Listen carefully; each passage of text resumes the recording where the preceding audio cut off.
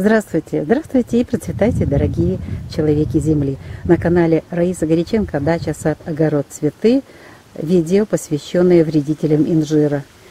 И именно интересная эта тема тем, что я все-таки определила, что за вредитель у нас появился на инжире.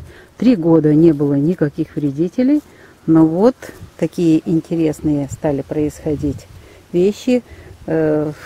Сначала плоды где-то э, в 15 числах э, августа были повреждены. Первый как раз урожай был частично поражен вот такими всякими ходами, дырочками различными. Испорчен был урожай. И, к сожалению, нельзя было его употреблять пищу. Ну, а затем я стала присматриваться на листья. Именно на молодых листьях вот появляются, появились вот такие э, некрасивые узоры, листья съедены. И я призадумалась, что же это такое. Раньше ничего не было. Абсолютно чистые деревья и прекрасный урожай был. Но я подумала, что в этот период как раз у нас очень активно э, американская бабочка, белянка развивалась. Поэтому э, подумала на этих вредителей.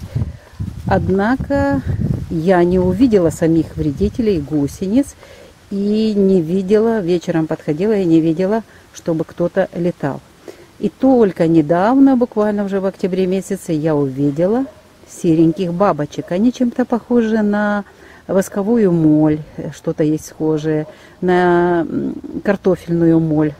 Но чуть-чуть где-то больше взмах крыльев у них мне не удалось поймать. Они очень шустрые, быстро двигаются, и пока мне не удалось их поймать. Но зато то, что они натворили, очень хорошо видно.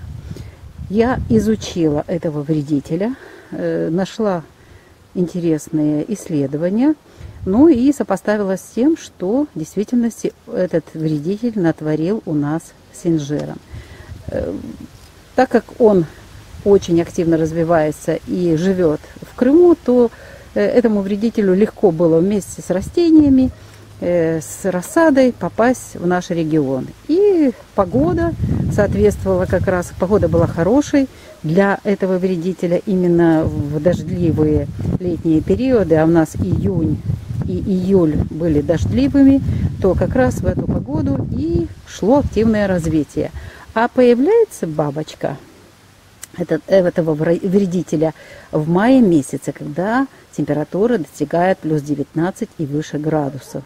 Вот тогда вылетают самки и откладывают на каждый листик только по одному яйцу. Хотя яйцекладка самки одной составляет от 150 до 165 яиц. Это ж сколько я видела молодые посадки у друзей, так там полностью все листья вот так из, э, испорчены или изрисованы вот такими узорами огневки, которая здесь себе развивалась, питалась и потом вылетала. Эти вредители, э, первое поколение, не опасны для самих растений, но это первое поколение, затем э, развиваясь, а длительность э, развития, вот, чтобы полное созревание было, идет где-то месяц, может быть чуть-чуть больше, потому что яйцо развивается и вылезает вот этот вредитель через 7 дней, а потом еще нужно, в зависимости от погоды, до месяца нужно время, чтобы полностью этот вредитель развился и стал взрослой особью и полетел дальше творить свои дела. Нехорошие дела. Этот вредитель опасен именно второе и третье поколение. Действительно, второе поколение как раз яйцекладка у них началась э, где-то после 20, после 20 июля. Вот это второе поколение как раз и натворило э, неприятных э, делов именно с плодами. Листья, поскольку постольку, хотя очень вредно тоже, растение теряет силу. Но вот плоды первые были поражены Именно первые 15 э, августа собирала. Часть плодов была э, поражена вот такими дырочками. Я их показывала в видео. Э, они испорчены были и, естественно, невкусные. Жалко, что, конечно, было испорчено часть плодов. Но не зная вредителя, не зная в лицо его, я не знала, как и с ним бороться.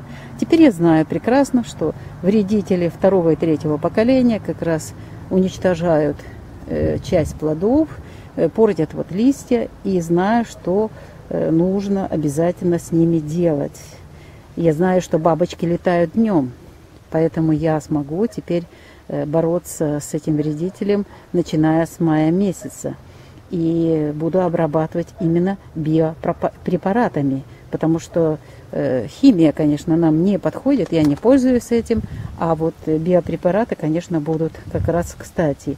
И я думаю, что параллельно нужно будет уже думать о том, чтобы обрабатывать и против болезней. Потому что я на некоторых плодах увидела какие-то вот э, странные покрытия, Э, но вот именно э, думаю, что это тоже какие-то заболевания, и буду изучать и разбираться с этим, и обязательно об этом буду делать видео. Но я уже знаю точно, что э, молочный коктейль, которым я пользовалась в плодовом саду, обязательно использую и здесь, потому что именно он дает возможность без фунгицидов, без химии выращивать плодовые и ягодные растения и защищать их от э, различных спор грибковых заболеваний.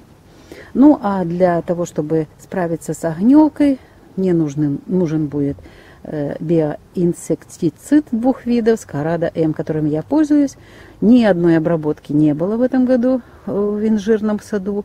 И, естественно, теперь мне придется э, увеличивать количество этих препаратов и, естественно, обрабатывать эти деревья, потому что они очень полезные, э, плоды их очень вкусные, и мы их очень любим в любом виде.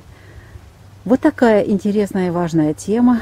Я, Раиса Горяченко, поделилась с вами своими наблюдениями, своим открытием э, вредителя, который называется инжирная огневка.